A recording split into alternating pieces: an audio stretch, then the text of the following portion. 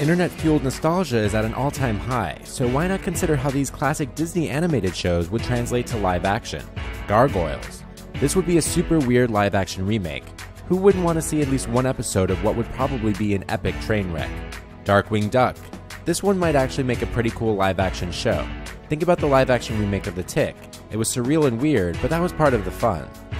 Bonkers. If the success of the Law and Order franchise has taught us anything, it's that people love TV shows about cops. Why shouldn't a remake of a show about a bobcat cop succeed? The animated Mighty Ducks.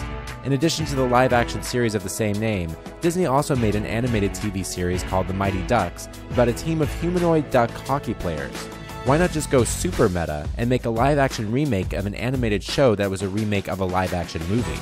DuckTales. A live action remake of DuckTales would be worth watching almost exclusively for the scenes in Uncle Scrooge's money pit. Sure, it'd probably be CGI, but who hasn't fantasized about pulling a Scrooge at some point?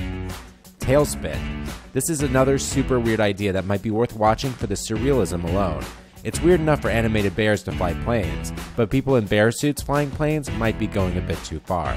Chip 'n Dale Rescue Rangers. This one's not that much of a stretch. After all, Disneyland has a Chip 'n Dale Treehouse attraction that real live people play on every day. Recess. This already sort of happened. Some kids remade the opening sequence. But a show as fun as Recess deserves better, doesn't it? Pepper Ann. This one would be a little less weird of a live action remake because it did star people, but the wig budget for this show would probably be out of control.